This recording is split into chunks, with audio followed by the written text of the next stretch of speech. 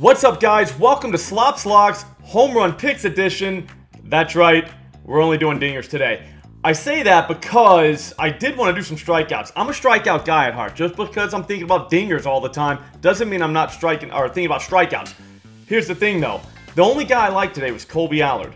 I liked him all the way to the moon, but guess what? His game started at like 12:20 Eastern Time. There's no chance we could have got a video out in time. I'm awesome, Nigel's awesome, still, we can't get a video out in time for that, alright? You're not gonna see it, it's gonna suck. So here's what we're gonna do. We're just gonna do home runs. There's nothing wrong with that. Everybody knows it. But here's what I want you to do before we talk about the home run parlay, because it's a good one too. So you're gonna want to stay around. But before we talk about it, go ahead and do yourself a favor. Subscribe to this channel. You like betting sports. I like to talk about betting sports. It just makes sense. You can even tell me about your bets in the comments. Alright, so I noticed that DraftKings has this deal where if you make an MLB bet today and it loses, they'll give you a bonus bet tomorrow. So this is good up to 10 bucks. The first thing I thought, let's do a dinger parlay. But not like a crazy one. It's on Friday. Today's Wednesday, so we can't get too wild. We want to save some money for the books. That way we can win it all on Friday. But what we can do is just do like a little three-leg banger kind of a free shot downfield, really, because if it does lose, which I don't think it will,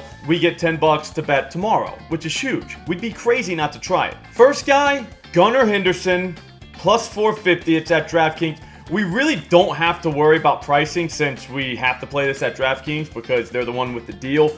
But if you can't play there, then you probably want to definitely worry about pricing because in the home run market, things are crazy. Like crazy, crazy. I've seen one book have plus 400 for a guy, and another book literally have plus 700. Same guy, same bet.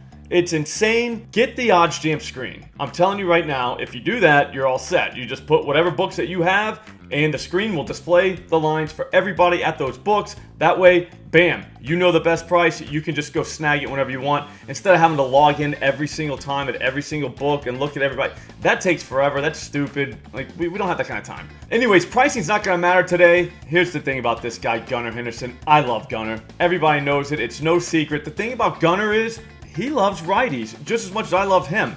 We're talking 100 mile per hour exit velocity all the time against righties. Uh, basically, every time the guy hits a ball thrown by a righty, it goes like 100 and something mile an hour the other way. In fact, every home run he's hit this season has been against the righty. Tonight, he's going to see Luke Weaver, who's been getting smoked by left-handed batters since Little League. Probably. I think it's not so noticeable because he gets smoked by righties so bad too. So the lefties kind of just mix around in there, and we don't really under we don't really realize how bad they hit this guy. But here's the thing. He's given up 14 home runs this season in just 60 innings of work. Most of them have been to righties, but still, lefties get them too. At the end of the day, somebody's gonna put one in the seats tonight against this guy, and I think it's our boy Gunnar. Next guy, Josh Jung, plus 350. The books are trying to trick us here because Adolis Garcia looks like the best option at first glance, the guy smashes lefties. He's got a dinger in each of his last two games. All that, the whole nine. But DK's only offering him at plus 255. I think it should be like plus 350, maybe more. So I'm taking Josh Jung at, guess what, plus 350. The thing is, I'm glad I looked into this guy because Jung has 15 dingers this season. He goes deep just like everybody else. Of those 15, only 6 have come against left-handed pitchers, but he's only had 79 plate appearances against these guys. That's pretty damn good. Tonight, he's getting a lefty and Joey Wentz that's a hitter's wet dream, especially right-handed batters. This dude's given up 14 dingers this season.